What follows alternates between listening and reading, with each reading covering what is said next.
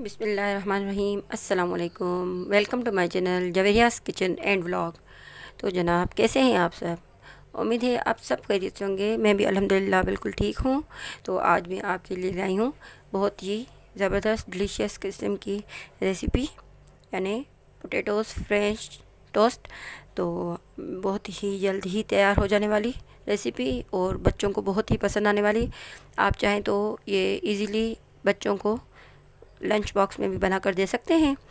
तो फिर स्टार्ट करते हैं। यहाँ पर मैंने जो है पोटैटोस ले लिए हैं। बॉयल करके चार अदद मैंने पोटैटोस लिए थे, जो मैंने पीसेस कर लिए हैं और बॉयल कर लिए थे। तो अब इनको पहले कर लेंगे मैश उसके बाद फिर मैंने जो है वन टीस्पून के करीब लिया है रेड चिली पाउडर और वन टेबल स्पून लिया है चाट मसाला हंसपे जायका नमक, थोड़ा सा धनिया मैंने जो है बारीक सा चॉप कर लिया है और उसके बाद जो है ज़ीरा पाउडर लिया है मैंने।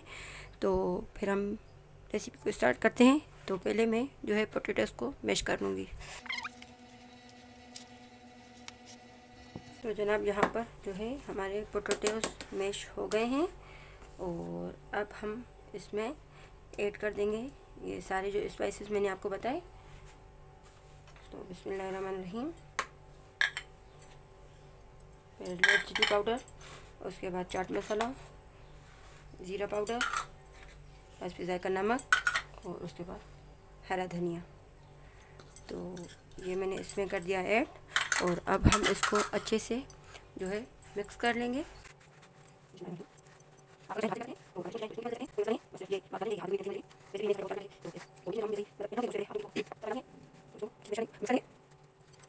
तो जनाब यहाँ पर जो है हमारा बिल्कुल मैश हो चुका है और मिक्स हो चुका है, सॉरी। बिल्कुल। तो फिर हम जो है आगे की रेसिपी स्टार्ट करते हैं। इसको कर देंगे साइड तो जनाब यहाँ पर मैंने लिया है अलग से ट्रे और यहाँ पर रख दी है मैंने स्लाइस जो है ब्रेड की। और इसकी मैं साइड्स जो है हटा लूँगी।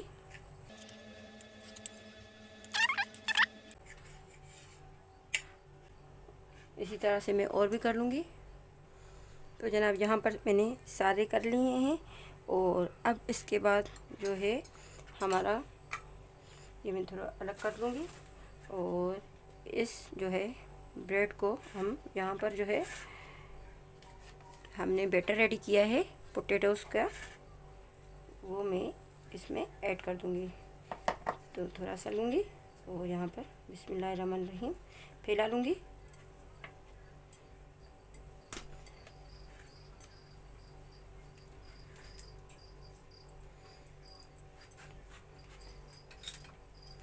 चाहें तो नाइफ़ की मदद से भी कर सकते हैं, हाथ की मदद से भी कर सकते हैं। ये बिल्कुल फैला लूँगी। हमारे जो है पोटैटोज़ अच्छे से बस ये कोशिश करनी है अच्छे से मैश कर लेने हैं।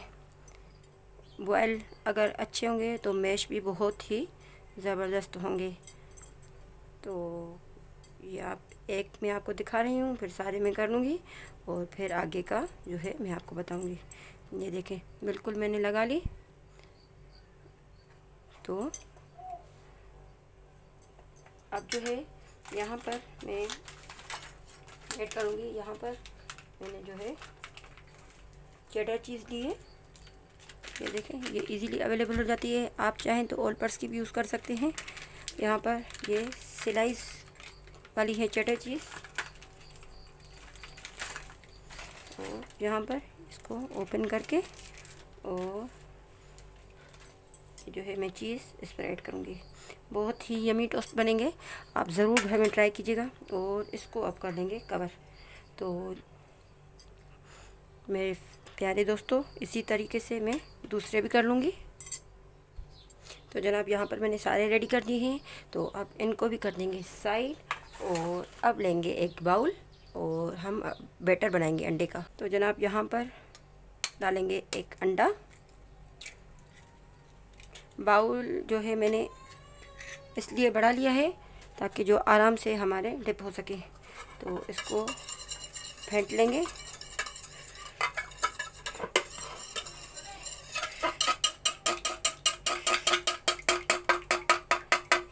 फेंट लिया और यहीं पर मैं ऐड करूँगी दूध, एक कप। तो ये यहाँ पर मैंने ये भी ऐड कर लिया और इसी के साथ जो है मैं ऐड करूँगी black pepper black pepper add करूँगी। हंसपे जायका आप जितना मतलब मर्ज़ी चाहे, मैं अपने हिसाब से ले रही हूँ। मैंने लिया है वन टीस्पून और यहीं पर मैं ऐड करूँगी नमक। हंसपे जायका वो भी।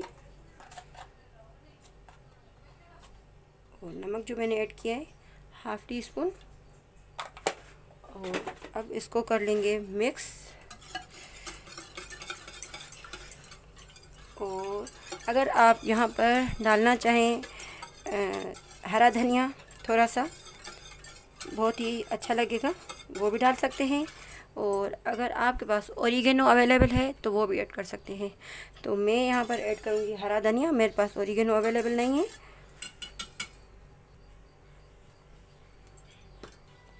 चलिए जरा ये भी मैंने ऐड कर दिया, हरा धनिया।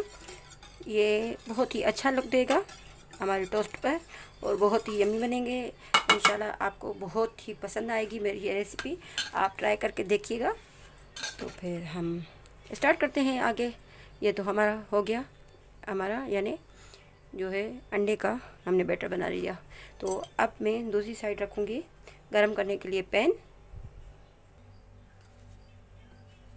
तो जनाब यहाँ पर कर लेंगे ऑयलिंग और जो हमारा पेन जो है, गरम है तो यहाँ पर जो है, मैंने ब्रेड के हमने टोस्ट बना लिए थे।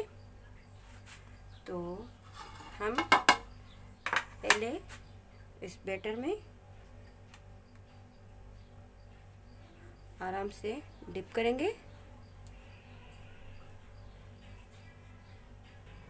तो यहाँ पर ये मैं आपको दिखा रही हूँ। आराम से।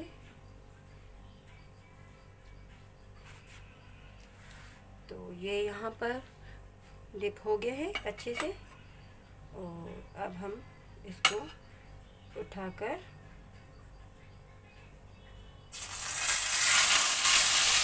रहमान रहीम ये आप देख सकते हैं। बहुत ही इजी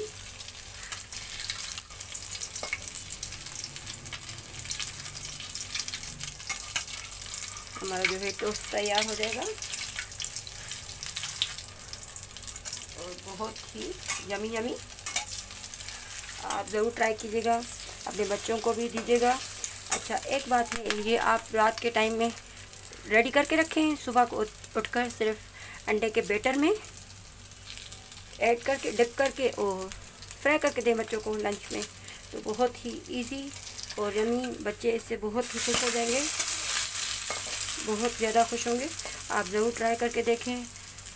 और मैं, अगर आपको पसंद आ जाए, आपके बच्चों को पसंद आ जाए तो लाइक कीजिएगा शेयर कीजिएगा अपने फ्रेंड्स और रिलेटिव्स के साथ। और मेरी जो है, जो मेरे न्यू व्यूअर्स हैं, देखने वाले तो वो सब्सक्राइब कर लें मेरे चैनल को। तो आप ये सब्सक्राइब सब्सक्रिप्शन से जो आप सब्सक्राइब करते हैं तो हम, मुझे बहुत खुशी होती है कि चलें भाई, हमारे सब्सक्राइबर जो है बढ़ रहे हैं, हमारे व्यूअर्स को हमारी रेसिपी पसंद आ रही है। तो आप ये ज़रूर ट्राई करके देखिएगा। ये देखिए, बहुत ही अच्छी लुक और बहुत ही यमी लुक आ रही है। तो फिर इसी तरह से जो है मैं सारे फ्राई कर लूँगी। जैसे जैसे मैंने आपको दिखाया इसकी थोड़ी साइड्स भी पकाएँगे। इस तरीके से आपको नज़र आ रही होगी, क्योंकि जो हमने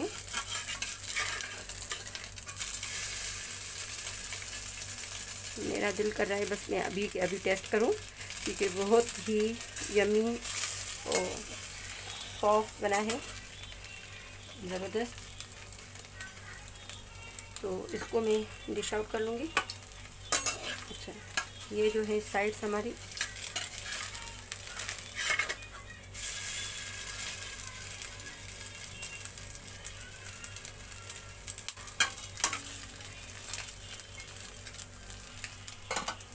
तो मैं अभी डिश आउट करने लगी हूँ।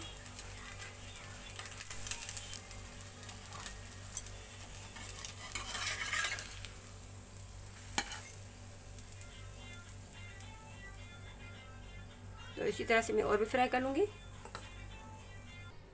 तो लीजिए जनाब, यहाँ पर जो है हमारी French toast, potato French toast जो है बिल्कुल हो गए हैं रेडी। तो अब जो है हम इसको केचप के साथ सर्व करेंगे।